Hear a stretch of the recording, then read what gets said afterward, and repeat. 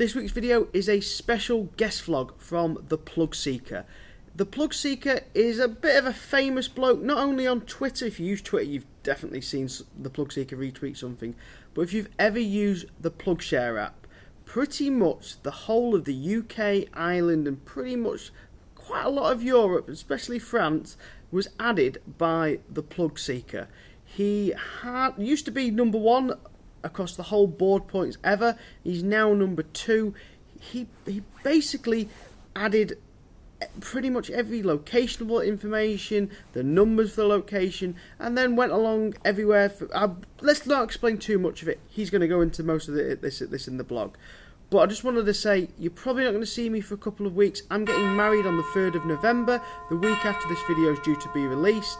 And I'm going to have a break. I'm going to have a little bit of downtime from YouTube I don't know how long that might be. It might be a couple of weeks, it might be two weeks, it might be a month, it might not be at all because I might get the YouTube bug and just have to make a video. So I hope you enjoy this guest vlog and I'll see you in a couple of weeks when I'm back from being married. Good afternoon, this is the Plug Seeker.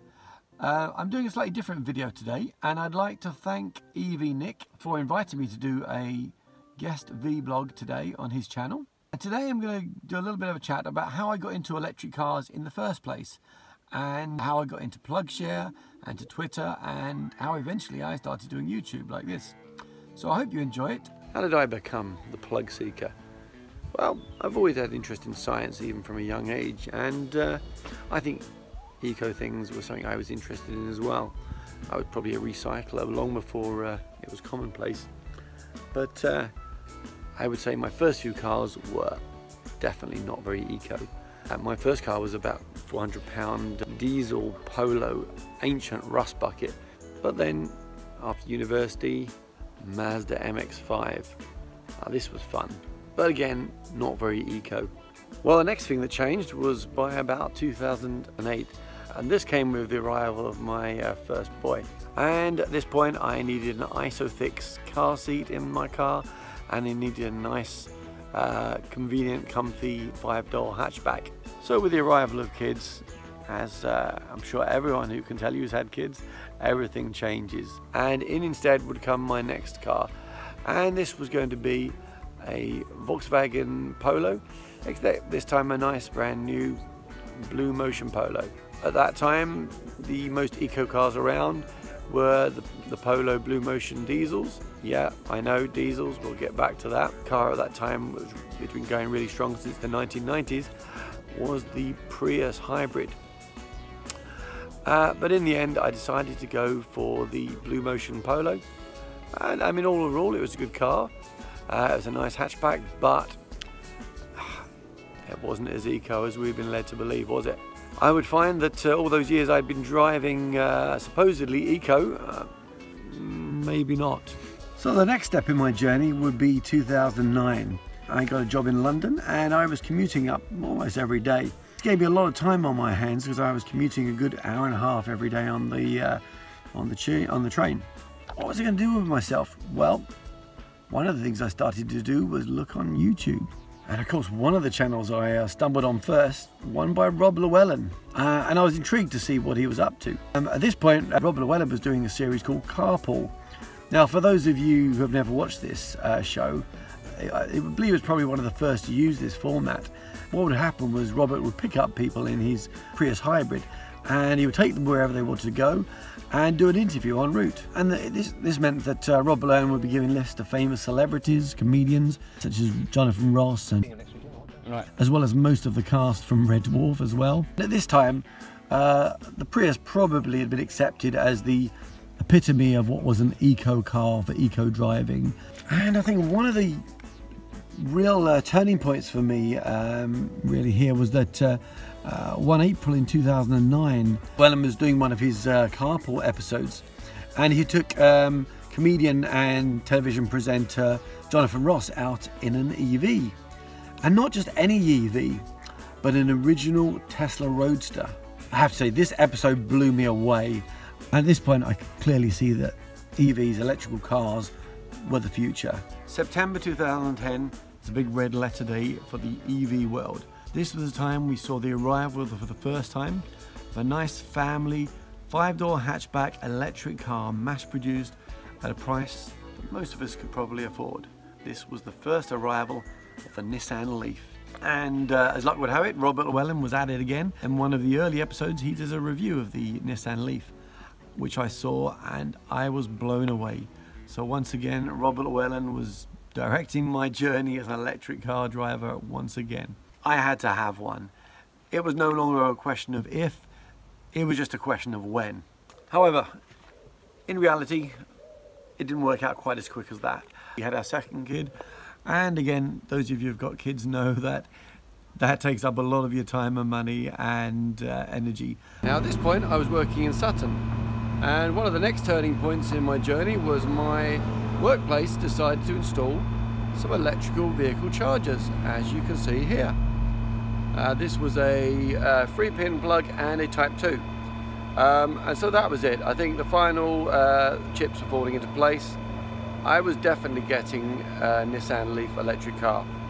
So we were now into 2014 and uh, after much number crumbing I decided that I was going to sell my VW Blue Motion and use that as a deposit towards uh, a Nissan Leaf lease and started a lease at £230 a month for three years. In September 2013 a brand new white VCR Leaf 24 kilowatt arrived at my uh, doorstep and was there waiting for me when I got home from work.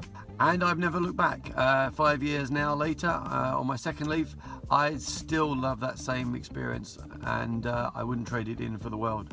Now, unfortunately, I was still a bit of a newbie when it came to electric vehicles and possibly I hadn't researched the areas of different charging uh, types um, thoroughly enough.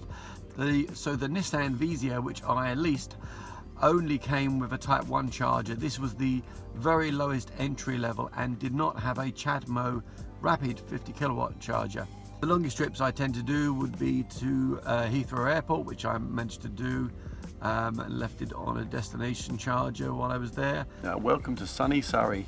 So I'd like to tell you in this uh, second part a little bit of how I got from being an electric car driver to being uh, heavily involved with multimedia, um, including uh, particularly Twitter and PlugShare. So as a techno gadget person and early adopter, I wanted to seek out and find as many electric car charging points as I could. So naturally I turned to my iPhone to try and find an app that would help me find chargers. I looked at various different uh, charging apps around but eventually I settled on PlugShare as this had the most worldwide chargers of any other app at the time and had a really excellent user interface. The users were adding information uh, and updating. In that, ways, I, in that way I thought it was very much like an early Wikipedia and I really thought it had the potential to be something big. So I joined up uh, the PlugShare app and uh, I had to put an avatar on um, as I joined the account and I thought well I'll keep it a little bit more anonymous and I just randomly googled around a few different images and then I just stuck on an image of Palpatine, uh, the Emperor from Star Wars and I thought oh that, looks quite cool. It's got a sort of uh, an electric theme going there with the electric bolts for lightning and that sort of thing. So I thought yeah we'll put that on for now maybe we'll choose something else later and I logged on myself uh, as my username as being the UK plug seeker Little did I know this would turn out later to be my uh, my trademark uh, throughout all the social media platforms I would later go, go on to use. And I would also uh, send uh, private messages in PlugShare to um, other users to try and encourage them to uh, look around their local area and add charges and add photos.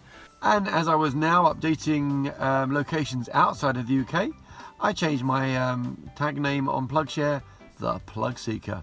I tend to have moved over the years now much more into using Twitter and I kept the same avatar as I had on PlugShare.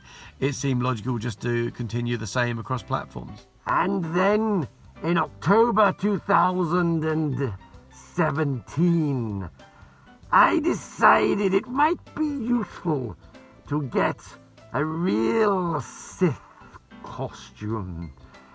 And the plug seeker was made flesh for the first time, and I therefore partook in a photo bomb in front of Charge Master headquarters.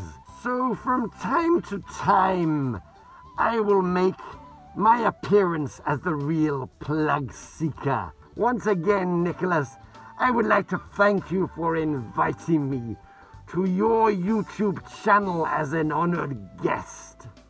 Just a moment. Don't forget to subscribe to Nicholas's channel, but most importantly, don't forget to subscribe here to the Plug Seekers channel on Twitter and on YouTube. Thanks, Nick. You'll have to do a fair bit of editing there, uh, trying to find out. Uh, so weird looking at the camera.